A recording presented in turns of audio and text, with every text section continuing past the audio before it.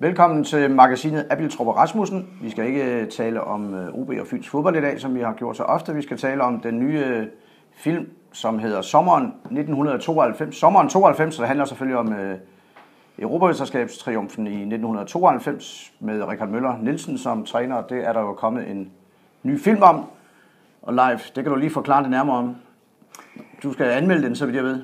Ja, altså det er jo, som jeg har forstået det, jo en øh, fortælling om den her fynske bundeknold, som øh, overrasker alt og alle og fører det lille land højt mod nord til en helt uventet EM-titel. Vi er stolte af at være fynske bundeknold. Ja, det er vi nemlig, og det er, jeg tror det er det, at øh, filmmagerne har været fascineret af, det er det der med, den mand, der var i visse kredse var meget udskilt, han, han øh, trodsede alt og alle, og ja. mod alle odds vandt over alle de store fodboldnationer og hjemførte EM-pokalen for første og måske eneste gang til Danmark. Når man kommer fra Uberud, eller Ubru, som det hedder på de kanter, ja, det ved jeg, jeg kommer selv tæt derfra, så vil man altid være besejre større hold og nationer, hvis man vinder stort set. Sådan er det. Det er et livsvilkår, og øh, jeg er sikker på, at det var en, det ved alle, det var en drivkraft for Richard øh, Møller Nielsen, som ikke havde altid, han sagde altid, ikke nødvendigvis ham, der sidder forrest i klassen, der når længst. Det var han et godt bevis på, selvom han var snu på mange måder.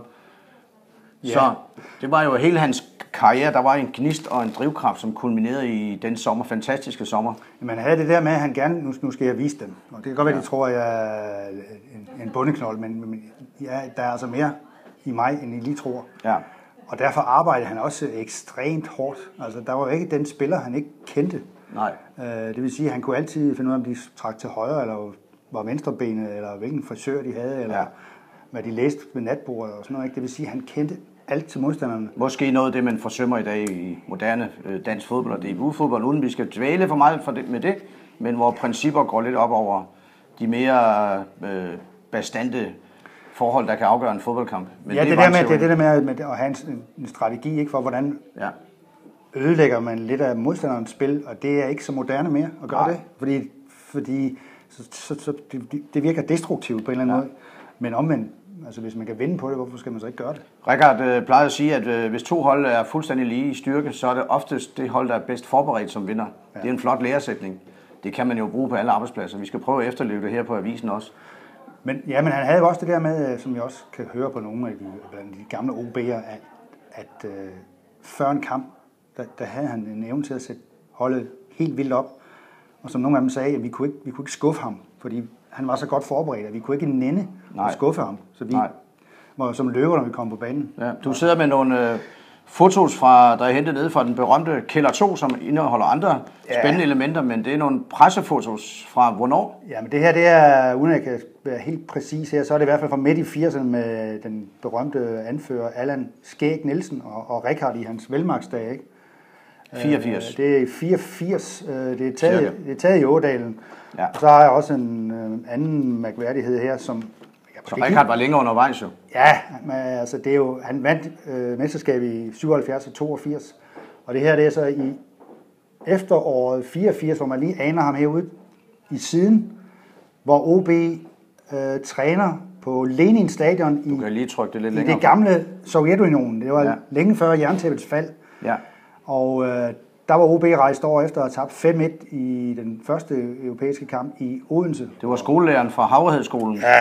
Den nuværende skole, Hans Peter Uthoff, der bragte øh, OB foran på Odense Stadion, kan jeg huske. Ja, der var ikke rigtigt, der forstod, hvorfor Hans Peter Uthoff skulle spille i angrebet, men på det tidspunkt havde OB ikke nogen angriber. Så. Det var en af Rikard havde gravet frem nede ja. i Tønder, fordi han var hurtig som en lægekat, og han kunne bruge ham i nogle specialfunktioner, og det lykkedes jo ofte, det må ja, vi sige. det lykkedes ofte, og det var meget lige, klassisk. Lige den kamp her, der vipper han nu hen over verdensmålmanden Rinat Dasayev, øh, men de var chanceløse i den kamp. Og der kan jeg så huske, at Rikard sagde på vej i bussen fra lufthavnen i Moskva ind til hotellet, at han greb den kamp forkert an i Odense. Det havde været bedre at spille med zonemarkering, mm. fordi de her russere var for hurtige til det der mandsopdækning. Ja. Så, så de spillede næsten lige op med dem på Lenin Stadion og tabte kun 2-1 ja. på en mål af Miki Rasmussen fra Coop. Ja. Og der, der er Lars Høgh, og der er, der er Lars Høgh, og, og Bjarne Moseby. Hansen, og Kim Siler. Ja. Reservemålmand Niels Hansen, som ikke fik mange Står der en masse betjente, kan man også se?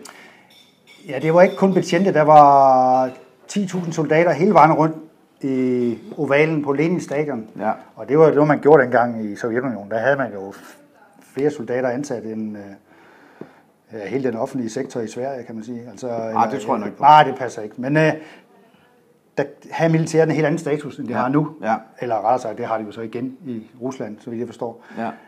Og jeg husker en episode, hvor Lars Høgh, han øh, under opvarmningen der pludselig kan se, at øh, overlæggeren, den, øh, den er ikke de der 2 meter og 42 op, som den skal være. Den var måske 2 meter og 20. Men som han sagde, da jeg kiggede ud på de der soldater, så tænkte jeg, ah, det skal jeg nok ikke brokke mig over. Nej. Øh, men det var en fantastisk tur, hvor, hvor Rikard også gav spillerne frie tøjler. Og det, Ja. ja. Men han var ikke kun den der hårde mand, han kunne virkelig... Skabe lidt fest. Han kunne skabe lidt fest, når det var ja. på sin plads. Ja.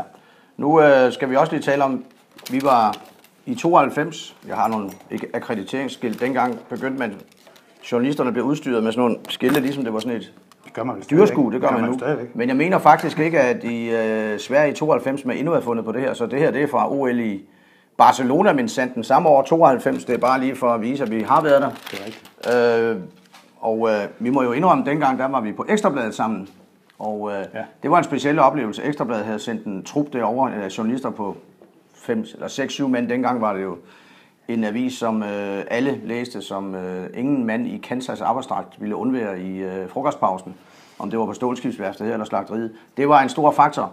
Og øh, det var, det var en speciel oplevelse. Jeg kan huske, at øh, jeg var faktisk til stede i, øh, ude over Hollof, ude i Richard Møller Nielsens øh, port, da han ventede på, om FN's generalforsamling ville øh, udelukke Jugoslavien øh, fra, hvilket jo ville få den konsekvens, at de ikke kom med til EM.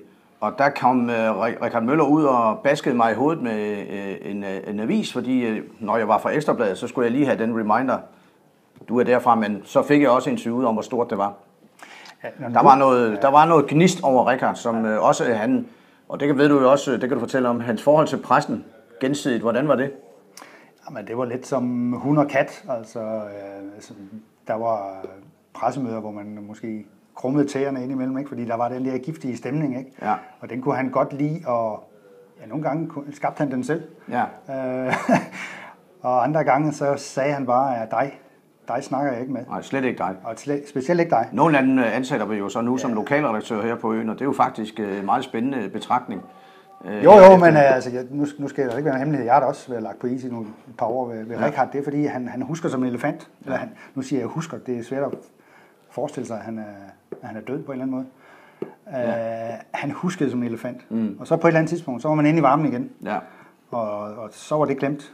Men det er jo heller ikke en hemmelighed, at, øh, og det kan man jo godt have sådan lidt mærkelig smag i munden, men det er jo en del af livets erfaring. Det kender vi også her fra bladet, at når folk er væk fra bladet, eller ja, øh, ikke findes her på jorden mere, så bliver der ingen grænser for hyldes, hyldesten til dem. Og det, Nej. det er jo en kendskærning, og mange af dem, som i dag står på nærmest på nakken af hinanden for at skrive lange artikler og hylde Rikard Møller, de dengang øh, på ingen måde respekterede ham. Altså, det kan vi lige så godt sige, som det er.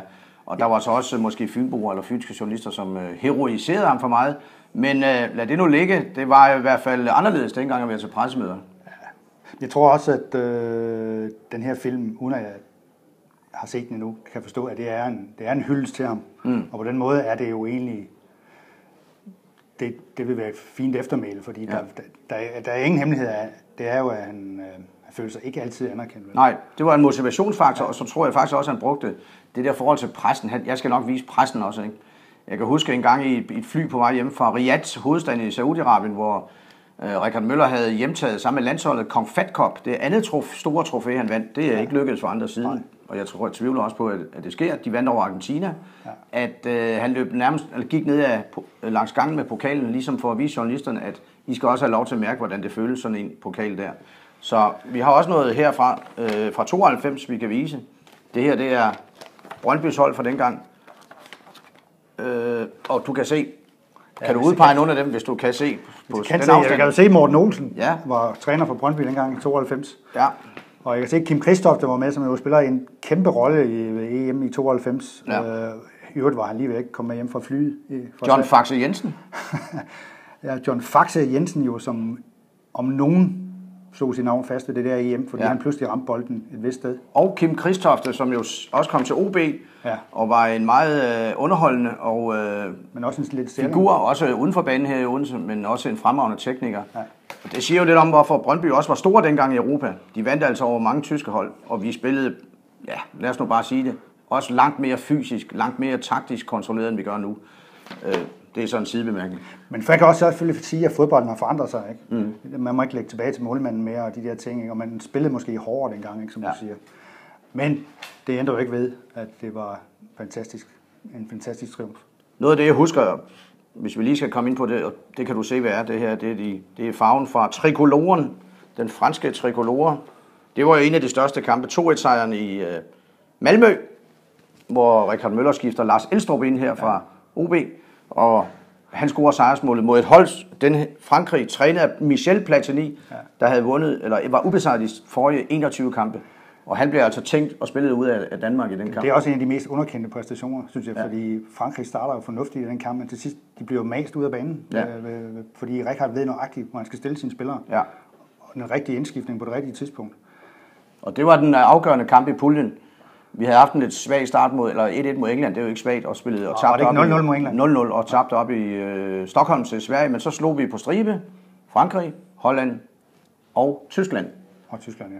Det skal man lige gøre efter. Det siger lidt om præstationen, og den film skal så anmeldes, og det kan man læse mere om i Fyns Stiftstidende og Fyns Amtsavis her de kommende dage. Og øh, vi kan bare sige, at vi kunne jo nok tale her i flere timer om det her. Det kunne vi helt sikkert. Der Men... kunne laves mange kapitler om Rikard Møller Nielsen. Ja.